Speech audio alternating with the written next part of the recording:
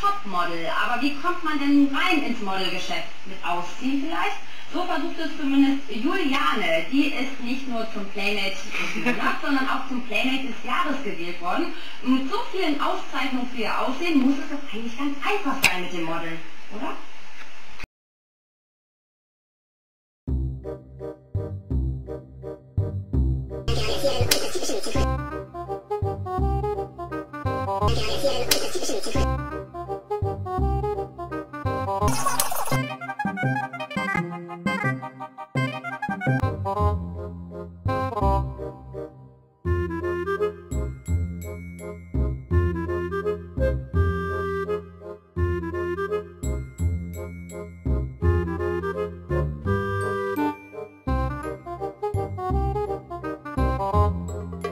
Bye.